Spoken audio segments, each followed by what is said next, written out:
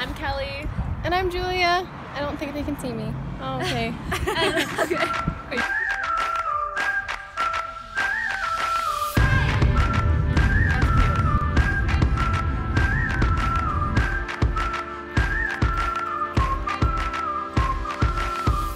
Uh, so how long have you lived here? I've lived here my whole life.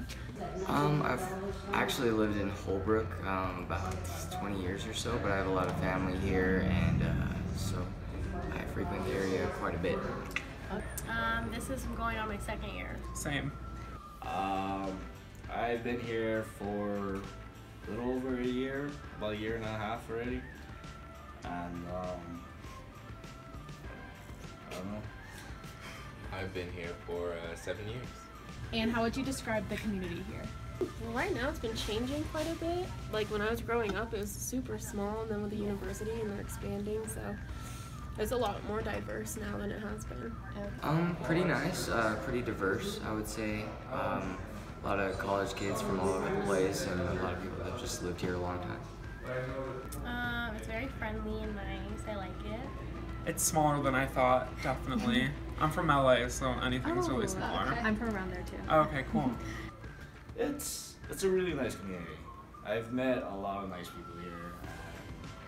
And this is coming from someone who's from Hawaii, so I mean, I know nice people. Yeah. Once I. Um, I think it's pretty great. Um, that's why I kind of stuck around. I did athletics at AIM, so I've always enjoyed the community that we had here. And how do you feel about this specific area with like Route 66? Route 66.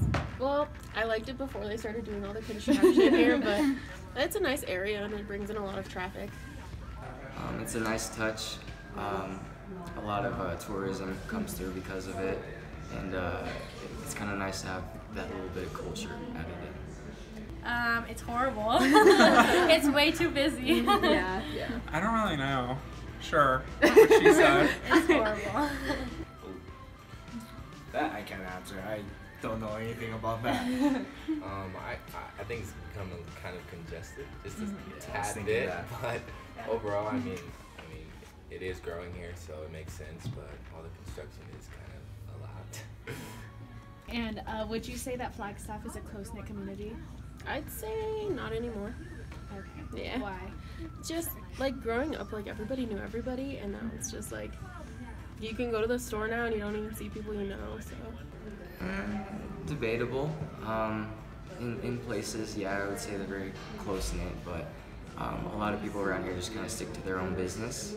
So they're kind of cliquish in that respect. I think so, yeah. Yeah, definitely. I would say so, yeah. I would agree.